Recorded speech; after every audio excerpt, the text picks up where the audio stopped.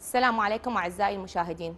اليوم موضوعنا حيكون من برنامج قابل للاستئناف هو عن الأسرة المثالية. الأسرة المثالية هي الأسرة أصلا هي مجتمع مصغر من مجموع المجتمع بأكمله. آه، اليوم إحنا شلون نبني أسرة مثالية؟ طبعا الأسرة لا تبنى على آه، أساس آه، علمي ولا على أساس فلسفي ولا تبنى على أساس المال وإنما تبنى على أسس أخلاقية يعني مبادئ أخلاقية.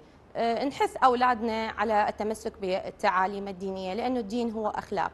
يقول الرسول آه، عليه الصلاة والسلام إنما بعثت لأتمم مكارم الأخلاق. اليوم أني من أعلم ابني أو بنتي على مبادئ الدين الصحيح اللي هو يستمد يعني الأخلاق أخلاقنا نستمدها من ديننا الصحيح.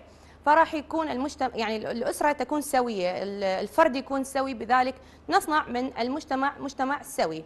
آه، أيضا آه، نعطي لكل طفل آه، يعني على حدة وقت كافي نستمع له نتقرب منه. اني كأب أو كأم لازم أكون صديقة وبنفس الوقت أمارس سلطتي كأب.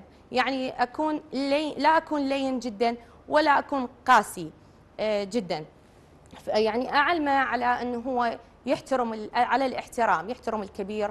يعطف على الصغير يحترم القوانين قوانين الدولة الأنظمة حتى يعني القانون يعني مثلا حتى مبادئ خلينا نقول حتى بالسياقة يعني مبادئ السياقة بالمدرسة شلون يتكلم مع زميله يبتعد عن الأماكن المشبوهة أمارس معاه الرياضة بصورة يومية مثلا حتى أعلمه حتى نطبخ. يعني معا سويا يعني مثلا الاب والأم. يعني الأب ما يستنكف يقول لا أني رجال ما يصير أني أطبخ ويا الزوجة لا. نطبخ كل إحنا سوا. يعني ليش حتى نعلمه على شنو؟ روح المساعدة والمساواة. هنا راح يكون الطفل ينشا ببيئه صحيحة مو مريضة. آه، يكون يعني فرد سوي بالمجتمع. يخدم آه، مجتمعه. حتى من يروح للمدرسة راح يعكس شنو؟ تربية البيت اللي هو آه، يعني آه، خرج من عنده يعكس تربية والده. هنا آه، إحنا شلون نصنع من هذا الطفل وبالتالي نكون إحنا أسرة مثالية؟ نعلمه أيضا على إنه يعني المبادئ الأخلاقية إنه ما يكذب يكون صريح وياي اني كأب ما يخاف مني. ما امارس سلطتي الأبوية إنه اني أخوف ابني من عندي بحيث ما يكون قريب مني. لأنه إذا الإبن خاف من أبوه أو من أمه راح يلجأ الغير يعني الغير ناس يجوز يقع في براثن جريمة، براثن تعاطي آه، مثلا بالمخدرات أو مسكرات أو إلى آخره، راح يختلط بمجتمع غير سوي أو يروح مثلا على ال social media ونعرف إحنا مخاطر ال social media كل الزين، فأني ابعده من هذا الجو، اقربه إلي فأكون مثل ما قلنا سابقا أكون يعني آه، يعني إنسان وسط يقول خير الأمور أوسطها. أكون صديق لابنائي أنطي من وقتي. الوقت الكافي لكل طفل على حدة يعني. اعلمه على روح التواصل مع الأقارب مع الأصدقاء مع الجيران. يعني على نص يعني المبادئ الإسلامية حتى حثونا إنه ما نكون قاطعين للرحم. يقول الرسول الكريم لا يدخل جنة قاطع.